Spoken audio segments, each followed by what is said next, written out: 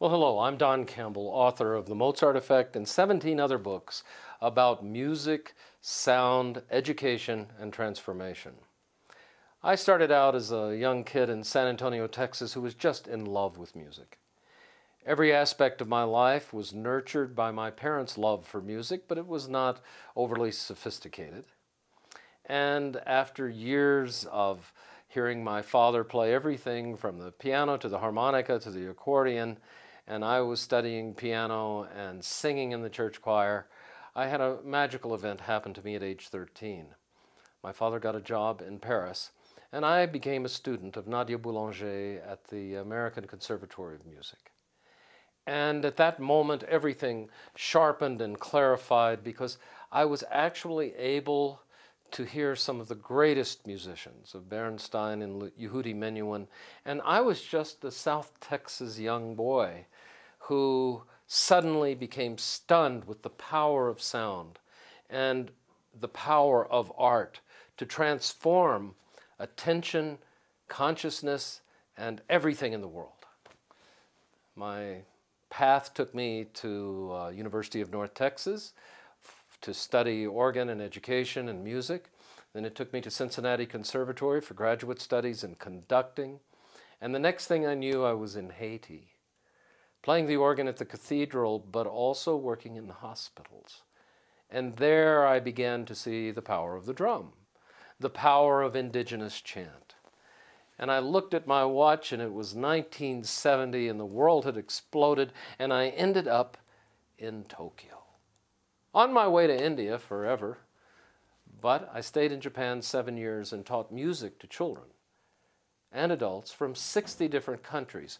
And I began to get a different intuition of what it was in the fabric of great music. Not only the art, not only the entertainment, but the ability to use sound and the specific ingenuity that music had to transform language, to transform attentiveness, and to allow communication between people who did not have a common language or even a common belief, politically or religiously. After years in Japan, I returned to Texas and I found in my earliest research there that the brain could talk to itself. The jargon in those years was right and left brain. But then as attentiveness and as research continued, we began to realize that the limbic system, the middle of the brain, had an emotional rapport to it, and that the whole nervous system and the autonomic system and the whole breathing systems all had rhythmic qualities and tonal qualities and always being what I hope I can always say a good classical musician. I found myself intrigued. It was as if going from a small room with a large orchestra to going to a universe with a voice. And being able to actually find that music is much more than what meets the ear. I began in the 19 early 80s to really ask what are the main questions that would be of interest to the public at large, to teachers and to parents. I wrote a wonderful little book in 1983 called Introduction to the Musical Brain that just gave an easy way for teachers to look at the dynamic, the intellectual, the cognitive aspects of how music is usable, and also then the affective, the improvisational, the play, the tonal aspects.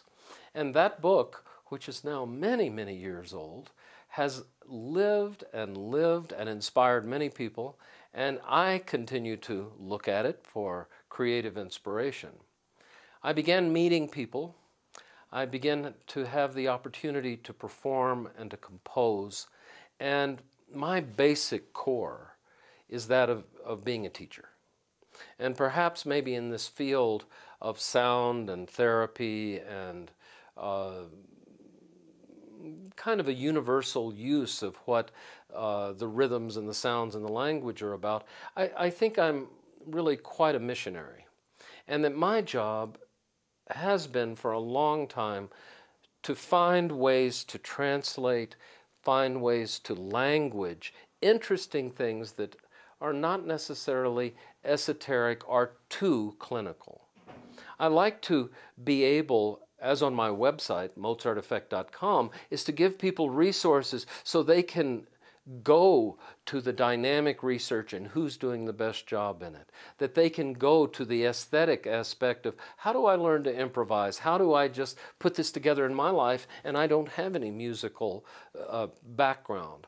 And so I'm always looking at ways to find the translation of this incredible research into the application of how people can use music to improve their life day after day, how they can improve the stress in their families, how they can activate their children to want to develop better in language, and how also they can inspire their own heart.